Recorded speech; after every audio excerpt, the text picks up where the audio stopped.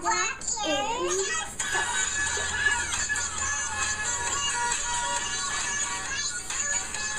Hey, what are you doing? Listen to the Chip Pete's Hey, is that is that my droid?